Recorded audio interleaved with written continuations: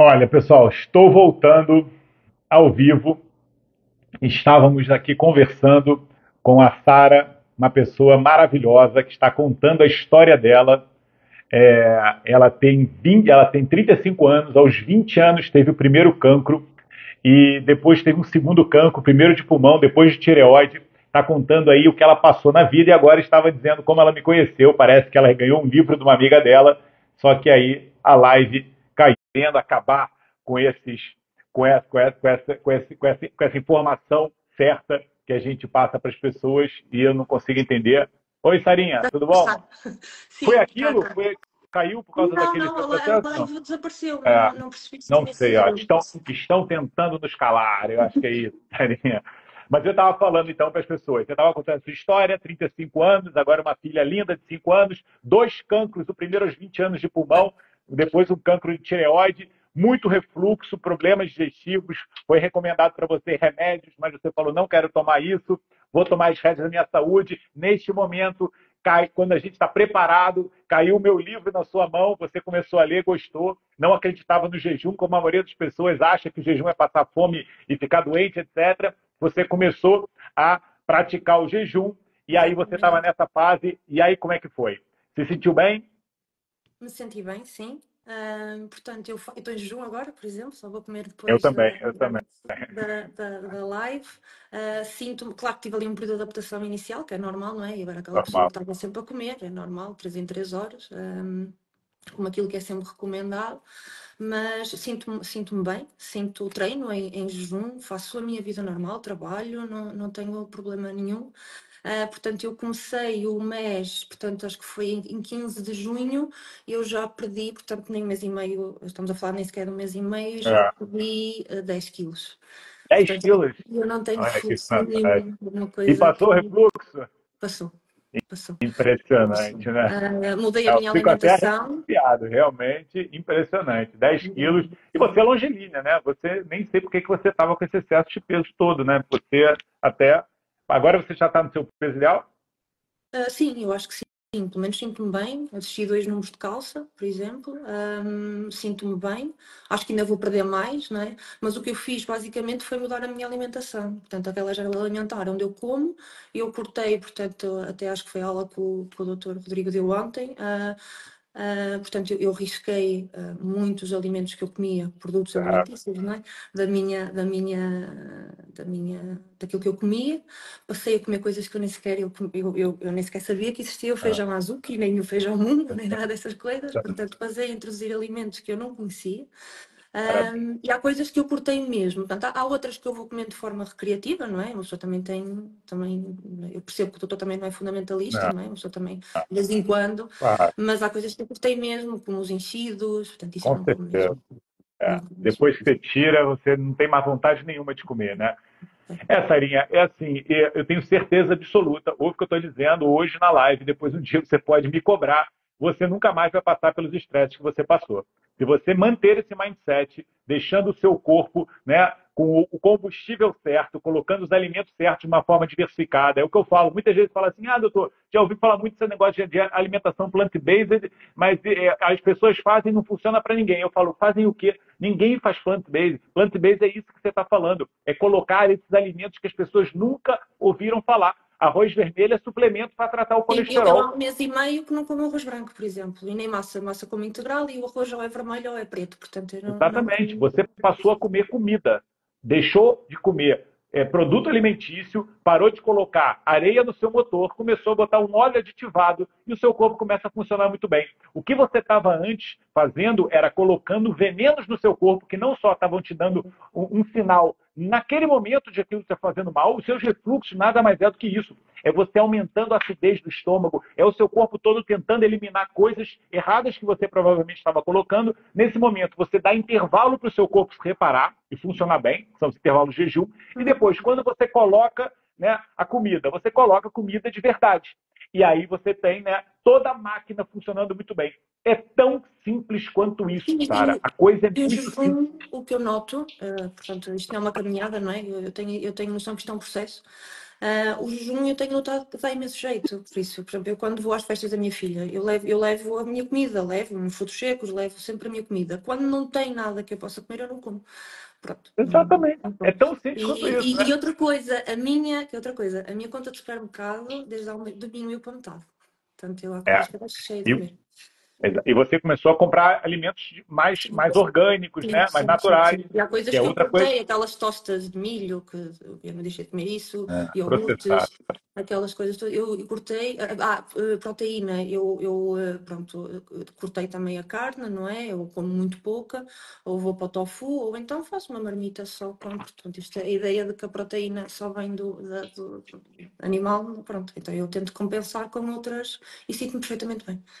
Aninha, é, é o que eu estou falando. Você realmente, eu, eu, parabéns, eu fico mesmo emocionado com o seu testemunho. É um, é um testemunho muito forte, né? Ter dois cancros, né? O primeiro cancro aos 20 anos e, de, e, um cancro grave, né? O cancro de pulmão é um cancro realmente perigoso. Você teve que tirar metade do seu pulmão que você falou, né? E depois o cancro de tireoide também, que é um, campo, um cancro que compromete muito o nosso metabolismo. Você retirou a tireoide toda? Foi? Eu tive que tirar porque eu tinha, eu tinha doença de Graves antes e no fim já tinha, tinha uma doença autoimune. Pronto, foi por isso que eu descobri o cancro. No fim de fazer medicação, já estava, parecia estava tudo bem, mas apareceu aqui um nódulo estranho, fui ver e pronto, e tive que tirar tudo. Eu tratei a autoimune, porque eu tinha uma doença autoimune que atacava, não tendo a tiroide, resolvi essa parte, mas pronto, é sempre uma operação, não é? E, e tenho sempre uma medicação todos os dias e pronto, e não tens terapia. Assim Então, é, então, você é muito forte, é muito importante esse seu testemunho, Sara, porque você é uma pessoa que passou por dois cancros, hoje não tem a tireoide e teve esse resultado fantástico de melhora de todos os parâmetros da sua saúde, né? E, e, e, e, chegou ao peso que você deseja que nessa história toda, para mim, é o de menos. E eu garanto para você, Sara, com essa abordagem que você está fazendo hoje, diminuindo o excesso de proteína animal, fazendo intervalos de jejum, colocando muita fibra e fitoquímicos no seu corpo, eu garanto, você nunca mais vai ouvir falar sobre cancros na sua vida.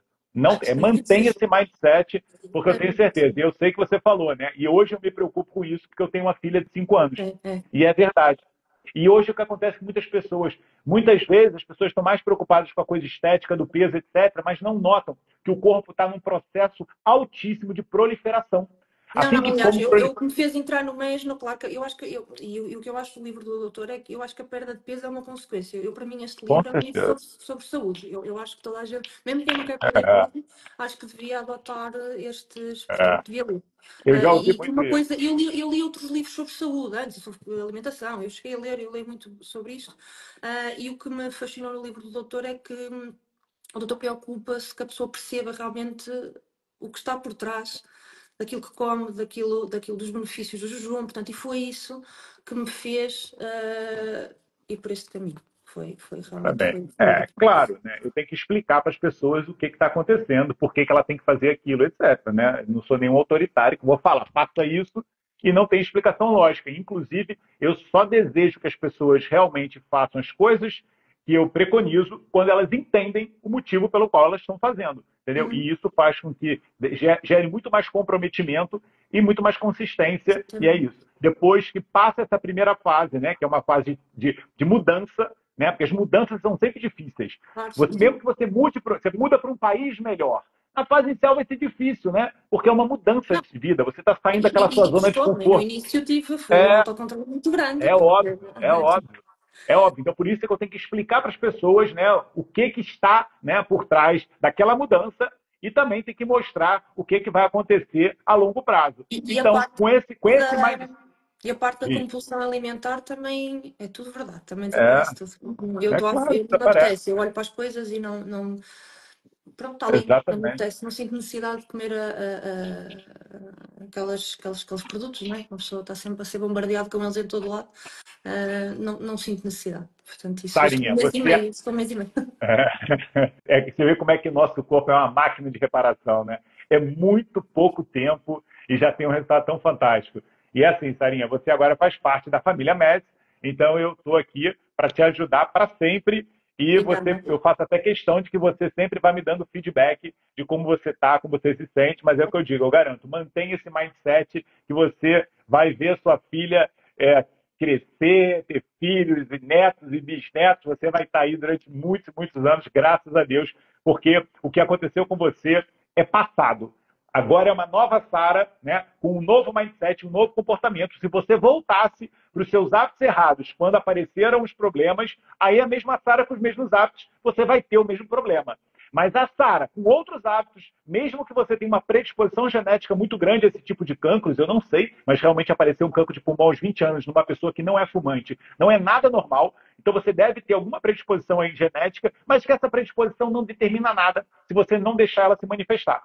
Isso é que é muito importante, entendeu? Então agora, você mantendo esses hábitos, garanto para você, Sarinha, estou aqui, palavra do doutor Rodrigo, que você nunca mais vai ouvir essas palavras na, na sua vida, tá? Mas mantenha esse foco, esse mindset. Parabéns do fundo do coração. Você é aquele testemunho que eu tenho certeza aqui que deixou metade das pessoas que estão assistindo, quase 200 pessoas, metade arrepiada, tá? E motivados a transformar. Porque, como eu falei, se você com dois cancros nova, sem tireoide, conseguiu esse resultado, né?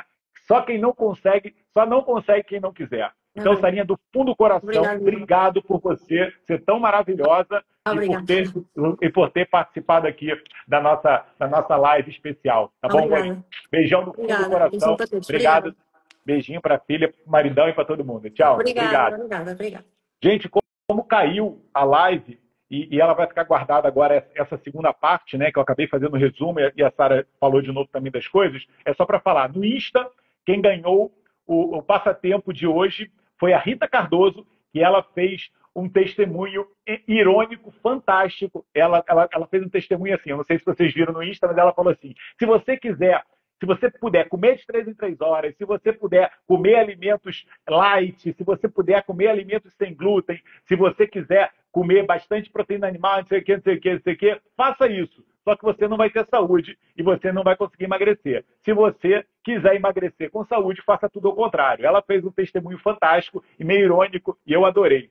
E o outro foi da Cândida Vieira no Facebook, que ela, além de escrever todos os itens que fazem atrapalhar o nosso processo de emagrecimento, ela também fez um gráfico. Ela, ela fez de forma gráfica, em desenho, todos os hábitos que a gente deve tirar do nosso corpo. Então, ela fez um, um, testemunho lindo, que eu vou até publicar agora, quando terminar essa live. Eu vou publicar no meu Stories a, a, a imagem que ela fez, mostrando de uma forma gráfica quais são os erros que comprometem nosso emagrecimento. Então, lembrar, gente, quem quiser pode colocar a palavra inscrição, que pode participar ainda da maratona, pode assistir a aula número 1, um, que vai ficar no ar até começar a aula número 2, que é hoje, às 9 horas de, de, de Portugal, 17 horas do, do Brasil, tá em 5 da tarde o Brasil, 9 da noite Portugal. Até lá vai ficar a aula disponível no YouTube, tá? Pode, basta colocar aqui inscrição, que manda-se o link. A aula está no YouTube, Rodrigo Ayub, pode acessar lá também. E, e, e, aí depois a aula sai e a gente vai ter hoje o encontro da aula número 2 da nossa maratona, em que eu vou falar como é que é o óleo que lubrifica o nosso motor. Eu ontem falei da, da, da areia né, que faz o nosso motor ficar travado. Este é o processo de emagrecimento saudável. Não é ficar olhando para as calorias do seu prato, não é ficar olhando, ai, mas tem muito carboidrato, tem pouco carboidrato. Foca na máquina. Faça seu corpo ser uma máquina de queimar gorduras, de produzir energia, de se reparar, de funcionar bem. É isto que a gente tem que fazer. Não adianta você restringir calorias e você ter lá o motor cheio de areia. Então a gente tem que limpar essa máquina e o MES ele se, ele se propõe a fazer isso, mexendo na sua bioquímica, mexendo na sua fisiologia hormonal de uma forma natural e saudável. E para melhorar, de uma forma prazerosa, que seja altamente executível. Vocês viram agora, não é o Dr. Rodrigo que está falando, foi a Sara que acabou de falar, passando por várias adversidades, dois cancros, né, retirada da tireoide, ela fez o MED e, se sentiu muito bem logo no início. Acabou com o refluxo dela e hoje, hoje ela se sente uma nova pessoa. E por não ser uma dieta da moda, o que, que ela falou? Eu vou fazer isso pro resto da minha vida. Deu para entender? Mudança de paradigma, mudança de mindset, de hábitos de vida e você tem a transformação. Isso é o MED. Espero todo mundo hoje na aula número 2, às 21 horas Portugal, 17 horas do Brasil. Beijão, gente. Muito obrigado por mais uma live maravilhosa e nós nos vemos mais tarde, tá bom? Beijo.